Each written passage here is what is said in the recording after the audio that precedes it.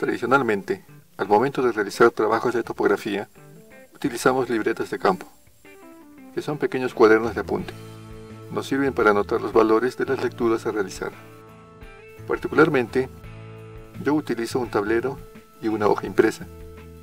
Para mí me resulta mucho más práctico y cómodo, sobre todo si se trata de un levantamiento con un teodolito, donde tendremos que anotar todos y cada uno de los valores que vamos a leer. Les dejaré este formato para que lo descarguen si lo desean. Utilicen esta hoja a la hora de realizar sus prácticas o trabajos de topografía. Después tendremos que digitalizar toda la información e introducirla a una hoja de cálculo para su proceso.